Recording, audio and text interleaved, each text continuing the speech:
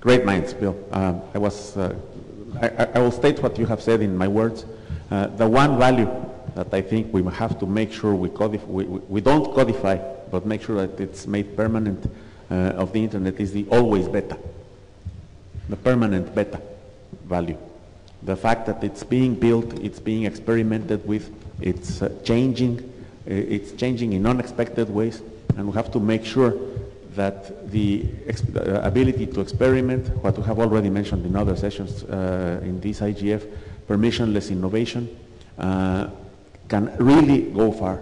We just have uh, uh, a few things that we don't want to happen, which is uh, the breakdown or fragmentation of the internet, the creation of closed spaces, that kind of stuff is really important, and we know that that has been achieved by an extreme adherence to interoperability and openness. Uh, I'll put further two points. One of them is uh, even if we all in this room agreed uh, explicitly, I mean, you took uh, account of uh, hands uh, up, we, do we all agree that openness of the internet is a value to be preserved? Last evening we had a session on the dynamic coalition on core values. It was very much the same issues that are discussed here. And uh, I was truly amazed by the passion and vigor uh, with which two totally opposite uh, conclusions taken from openness were discussed. One of them was, as has been the atmosphere here, uh, be able to publish everything, make it uh, accessible to anyone on the, on the net.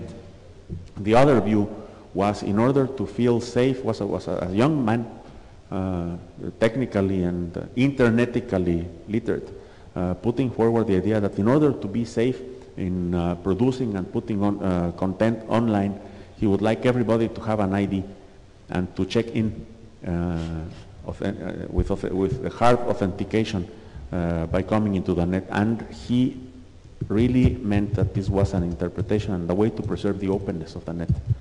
Uh, we, most of all uh, of the people I talk to on the internet uh, think that is not a solution, think actually it has much more problems and so forth. The only point I want to make is there are young people who have thought this through and who passionately believe completely opposite things.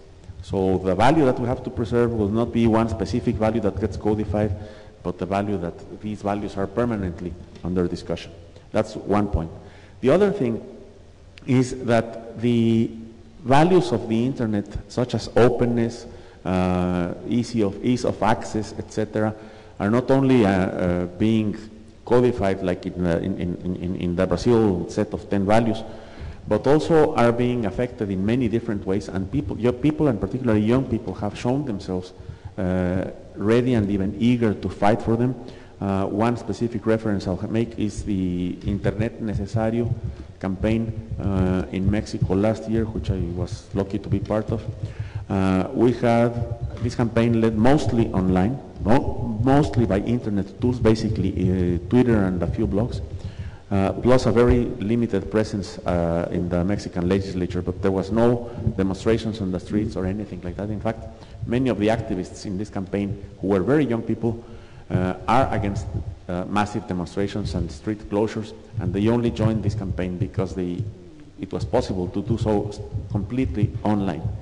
Uh, we have to keep looking in these uh, core values across generations view. What gets young people fired about the internet? How what gets them to actually, you know, go out of uh, everyday routines and, and uh, go further out into action?